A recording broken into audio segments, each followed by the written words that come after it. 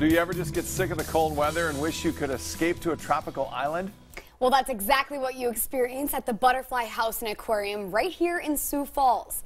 I had an absolute blast exploring the place, and let me tell you, if you've never been, you're missing out. I'm at the Butterfly House and Aquarium in Sioux Falls, and right now I'm sitting in literally what seems to be a tropical rainforest. And I've invited Lindsay Barwald to join me and tell me a little bit more about what this all entails.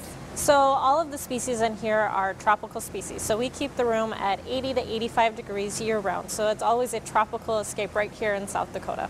I love that because it gets chilly, the wind, even walking in today, it's like, wow, I feel like I'm on vacation. Yes, it's wonderful in here, especially on those cold days where the sun is shining, but it's actually about negative 10 degrees outside. You can come in here and actually enjoy the warmth and the sunshine and feel like you're somewhere else other than cold South Dakota in January. Yeah, so what time of year is the most popular to come here? So during the summer we get quite a few tourists and then over the winter months on the weekends we get quite a few families that come in for that something to do other than walking around in a shopping center or things like that. They can come here, experience the aquariums and escape to the tropics in our butterfly house as well.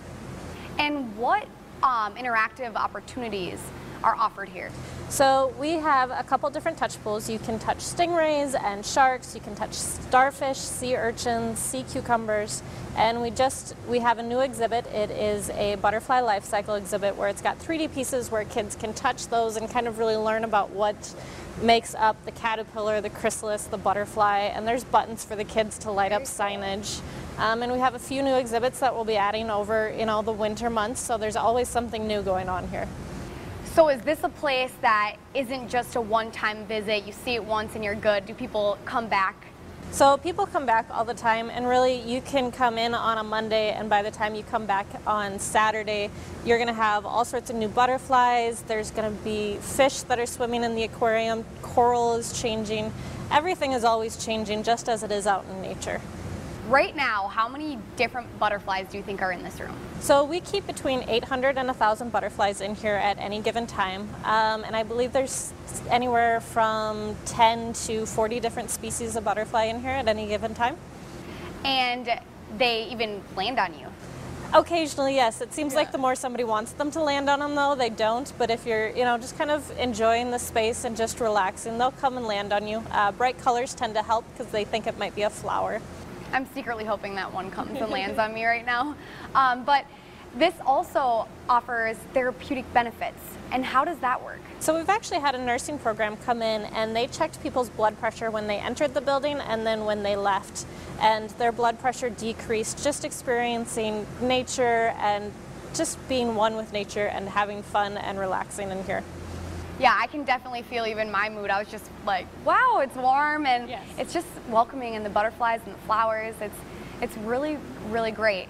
And now talking about behind the scenes, how does this all work? How do you get these different species in here and what does that all entail? So we partner with distributors that are in other countries, South, Central America, South America, Africa, um, so we get shipments once to twice a week and we get between 200 and 500 butterflies a week.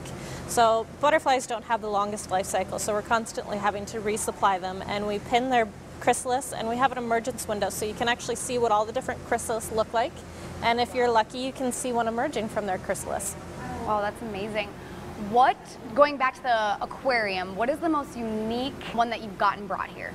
So we actually have an exhibit. It has a stonefish and a scorpionfish, and they're very rare. Um, one, just because they're rare out in nature, and also because a lot of aquariums don't want to handle them, as the stonefish is actually the most poisonous fish in the world. Oh, really? Yes. It has enough poison in it to kill an elephant. Wow, okay, so a lot. Yes. That's definitely a fun fact. Well, thank you so much for joining me and telling me about the aquarium and the butterfly house.